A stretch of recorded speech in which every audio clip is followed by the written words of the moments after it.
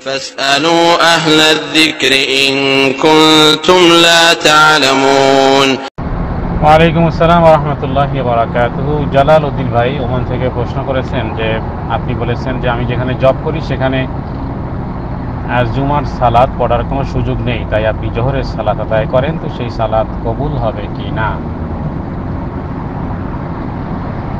আর জবাব আবিল্লাহি তৌফিক আপনি উল্লেখ করেননি যে আপনি যেই শহরে থাকেন, সেই শহরে জুমা হয় কি না আপনার অপারগতা তখন নির্ণয় করা যাবে যে আপনি যেই শহরে থাকেন বা যেখানে আপনি জব করেন, সেখানে আশেপাশে জুমা হয় কিনা? আরেকটি হলো যে আপনি এমন জায়গাতে আছেন, এমন মরুভূমিতে অথবা এমন গ্রামে আছেন যেখানে মানুষজন নেই অথবা একাকী।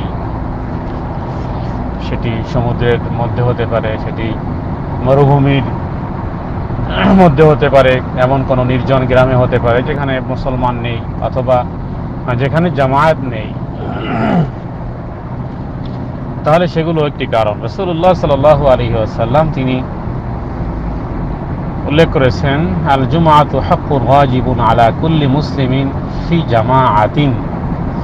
কারণ জামাত শর্ত হজরত তারেক ইবনে শেহাব রাজি আল্লাহ তিনি বলেন রসুল্লাহ বলেছেন জুমা প্রত্যেক মুসলমানদের জন্য ওয়াজিব। আল ওয়াজিবুন আলা কুল্লি ফি জামাআহ।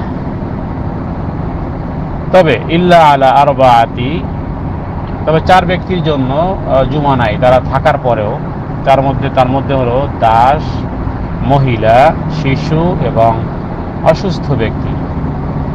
এছাড়া সকলের উপরে জুমার সালাদ আদায় করতে হয়। অনুরূপভাবে আরেকটি হাদিসে আমরা পাই রসুল্লাহ সাল আলী আসাল্লাম সেখানে উল্লেখ করেছেন যে, লাইসা আলাল মুসাফিরি জুমা এটি ইমাম তাবরানি ইমাম তাবরানি হাদিসকে এনেছেন সহিসানদে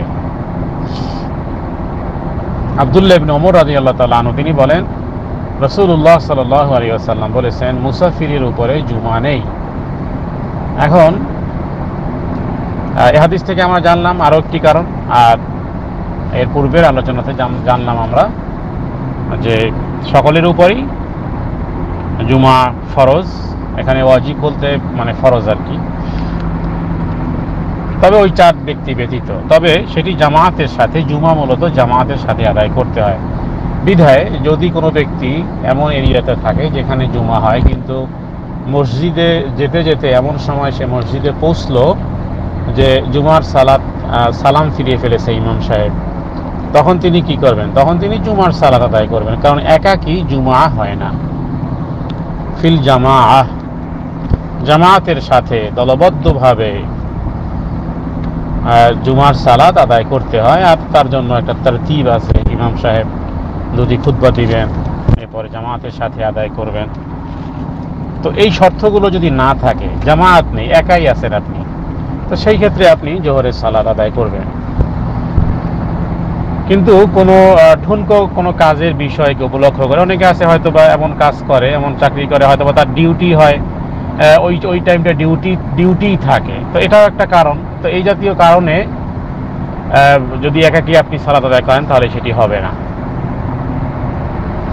কারণ এগুলো ওই রকমের কোনো শরিয়াতের ধর্তব্য, শরিয়াতে শরিয়াতে গৃহীত কোনো বিষয় নয়। এটাকে মুভ করা সম্ভব। এটাকে পরিবর্তন করা সম্ভব অথবা যেই কোনোভাবে এটা তদবির করা সম্ভব। হ্যাঁ যদি কোনো ব্যক্তি তদবির করার পরে অপারগ হয়ে থাকে, তাহলে তিনি জুমা বাদ দিয়ে জোহর পড়বেন।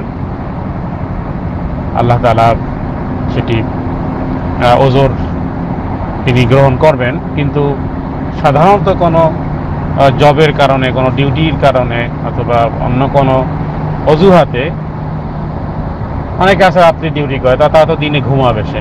এটাও তো একটা কারণ কারণ আমাকে রাত্রি ডিউটি করতে হবে। অনেকে মনে করুন হয়তো বা সিকিউরিটি গার্ডের চাকরি করে, অথবা তাকে ওই সময় দণ্ডায়মান থাকতে হবে, অথচ পাশে মসজিদে জুমা জুমা হচ্ছে। তো এই ক্ষেত্রে তার অপারগতা কতটুকু এবং তার চেষ্টা কতটুকু, সেটি নির্ণয় হবে। আল্লাহ তালা সে সে বিষয়টি আল্লাহ তালার কাছে গৃহীত হবে।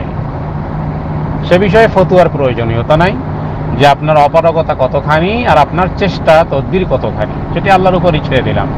বাকি শরিয়াতে যে যে সমস্ত ব্যক্তিদের কথা উল্লেখ করা হয়েছে তার মধ্যে না হলে জুমা প্রত্যেক মুসলমানের জন্য ফরজ। আর এরপরে যদি অন্য অন্য যে সমস্ত কারণগুলো উল্লেখ করা হলো যে এমন জায়গাতে আপনি একাই আছেন, অথবা তাহলে আপনি জোহরের সালাত আদায় করে নেবেন। আল্লাহ তালা আলাম সাল্লাহ আলা সঈদিনা মুহাম্মাদিন।